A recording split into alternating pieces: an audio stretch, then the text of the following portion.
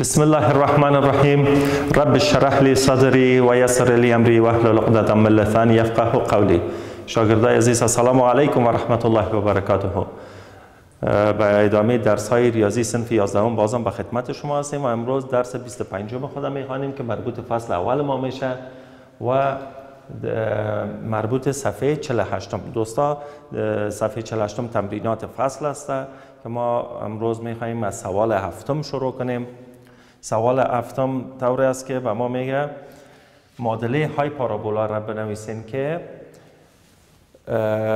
دو رأسش کمیات وضعی دو رأسش به ما داده و گفته که طول رأس های غیر حقیقی آن چهار واحد است. خب دوستا اول چی می‌کنیم؟ کوشش می‌کنیم که یک دفعه این نقاط در روی کمیات وضعیه بگذاریم. کمیات وضعی خود رسم می‌کنیم. یک واحد منفی یک واحد روی محور x سه واحد هم روی محور y. می‌بینیم یک نقطه ماست یه هم دیگه نقطه ما. این نقطه پی یک که xش یک y سه. و یه هم نقطه دوم ما که xش منفی یک و y سه واحد. خب یعنی اینی یک راست است این هم دیگر است به این که های پارابول ما به اینی ترتیب است تقریبا. خب و ما می‌فهمیم که دقیقا در نقطه وسط از این مرکز های پارابول می باشه یعنی از اینجا ما ات نتیجه می‌گیریم دوستا که مرکز های پارابول ما در کدام قسمت است دقیقا در نقطه وسط است یعنی در x صفر است y چند است؟ Y سه واحد است. درست است دوستای گرامی؟ خب. و ایره ما شما می‌فهمیم دوستا که اگر های پارابول به این ترتیب باشه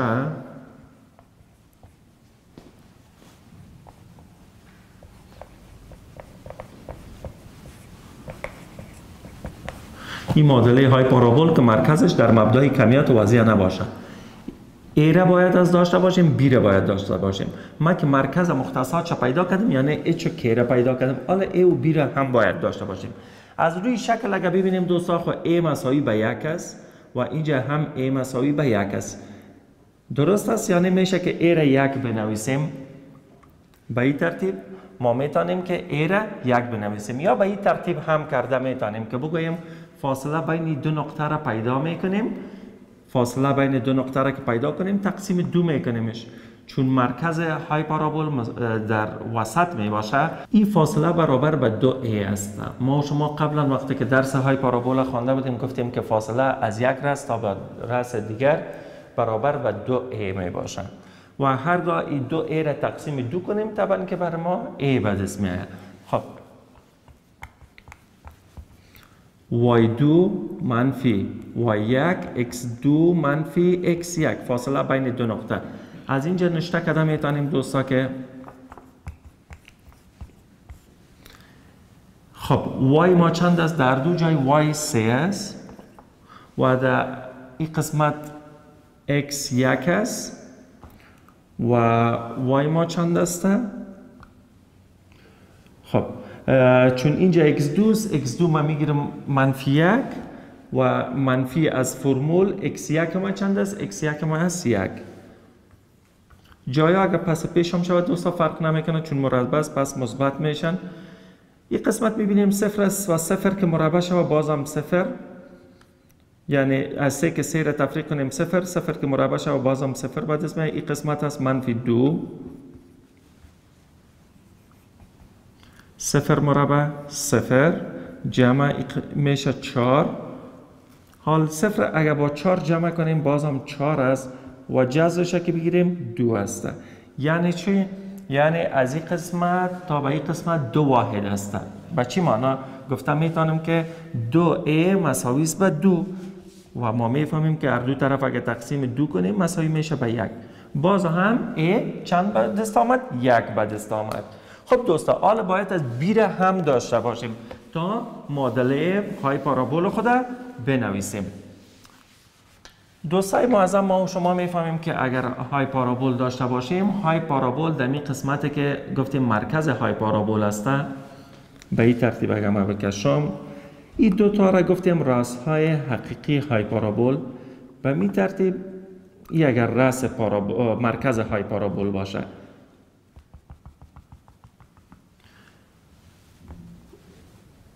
رس غیر حقیقی های پارابول به این ترتیب می باشه دوستان.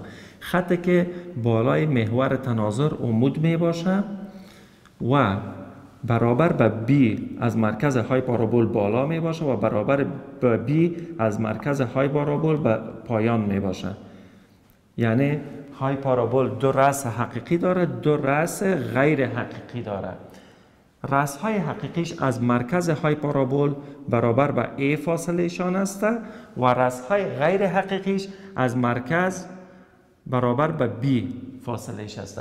حال اینجا برای ما گفته طول رأس های غیر حقیقی چهار واحد است. یعنی طول از اینی خط. طول از این خط دو بی دو بی مساوی چهار واحد است. هر دو طرف که تقسیم دو کنیم دوستا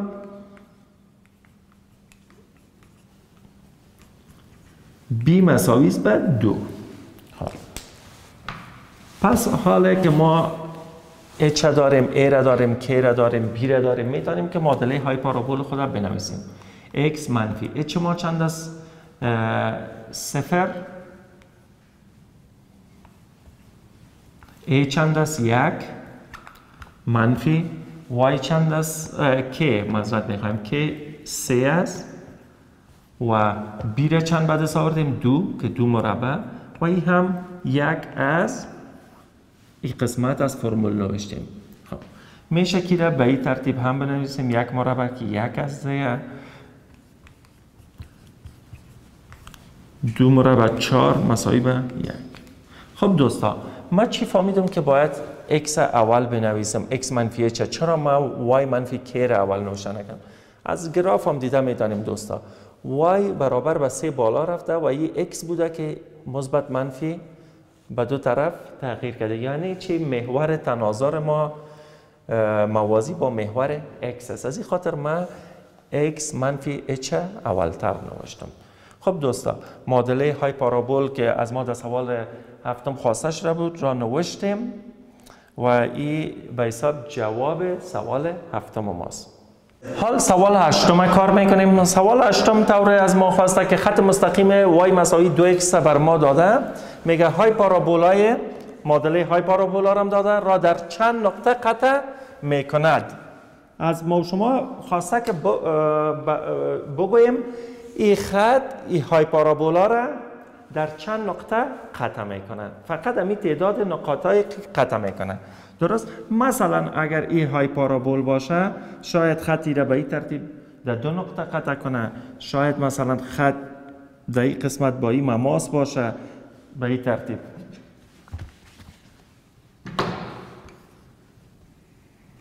و یا شاید هم اگر این های پارابول ما باشه خط بخی به این ترتیب باشه. هیت های پارابول قطع نکنه.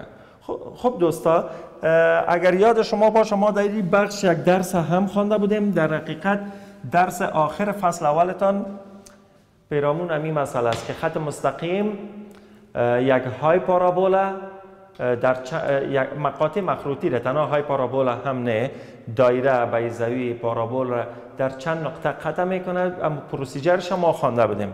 و او پروسیجر طور بود دوستا که خط مثلا من دیدم دارم اینجا دو وای. Y مساوی دو x. y مساوی دو x قیمت y که مساوی دو x است. وضع می‌کنیم اینجا.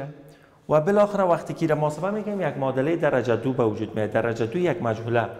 و فرمول محمد بن موسی را ما می‌فهمیم. دلتا مساوی بی مربع منفی 4 سی. از اون طریق ما می‌تونیم بگیم که در چند نقطه مقاطع مخروطی را امی خط قطع می‌کنه. و اگر از ما خواسته بود که نقاط را پیدا کنیم می‌تونیم که نقاط هم پیدا کنیم و دریابیم که در این سوال از ما نقاط نخواستم مختصاتش فقط خواسته که در چند نقطه قطع می‌کنه همین گپ جواب بدیم. خب دوستا حالا که ما می‌فهمیم y مساوی به دو x پس در همین سوال خود دو x به عوض y می‌گذاریم. x جمع یک کل مربع بر چهار منفی. می‌بینین که ما به عوض y قیمتش y مساوی دو x اینجا می نویسم. درست است دوستای عزیز؟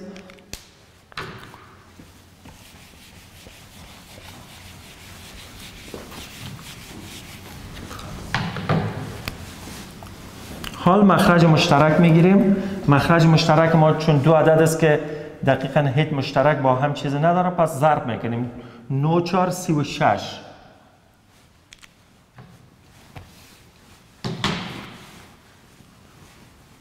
9 4 36 9 ضرب از این قوس 9 x مثبت یک کل مربع منفی 4 ضرب از این قوس.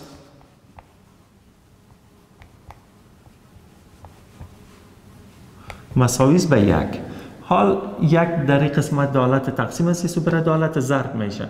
یا اوتر گفته می‌تونیم هر دو طرف از ضرب 36 می‌کنیم. وقتی که هر دو طرف از ضرب 36 کنیم 36 با این اختصار این طرف که ضرب 36 کنیم ضرب یک 36 در این قسمت میمانه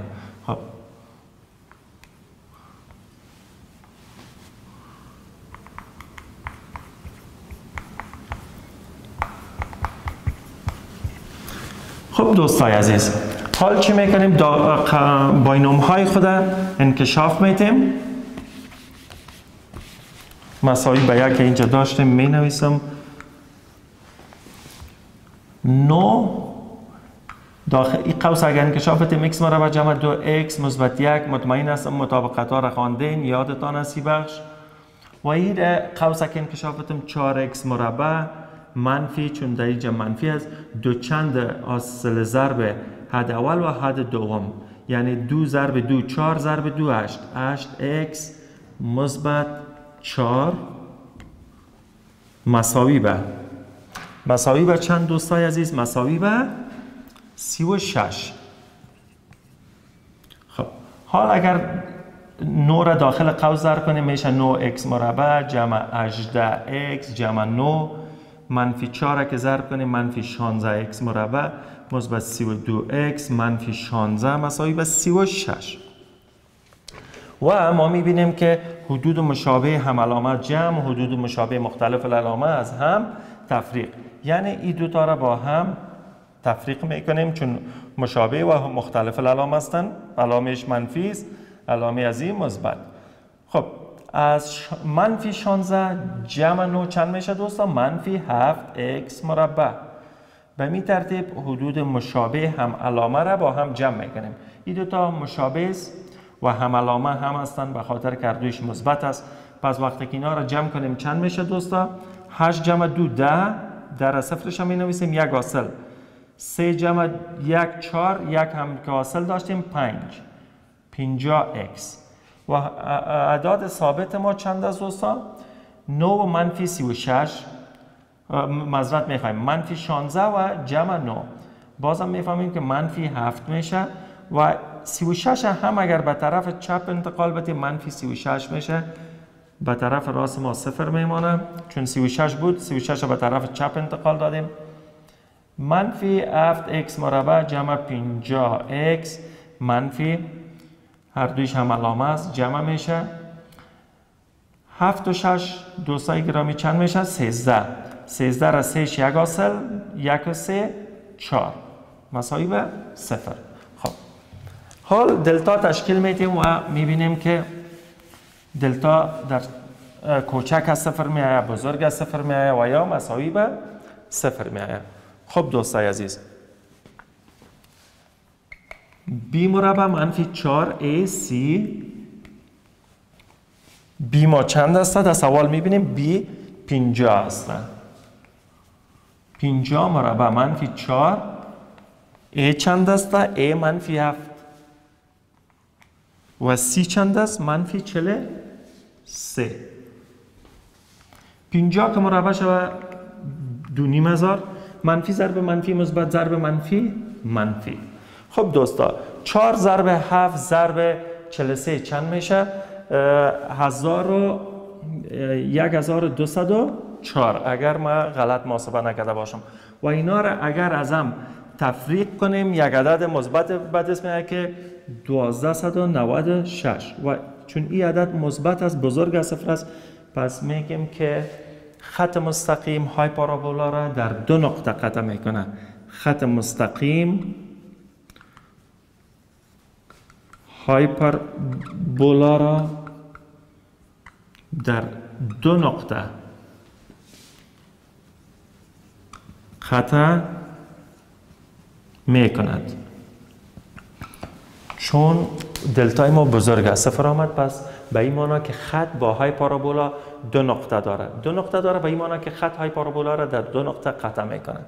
خب دوستا چون در سوال از ما خواسته نشده که مختصاتش پیدا کنیم. تا همین قسمت سوال حل می‌کنیم و دریافتیم که های پارابولا را خط در دو نقطه قطع می‌کنه. دوستای عزیز درس امروز ما همینجا به پایان می‌رسه.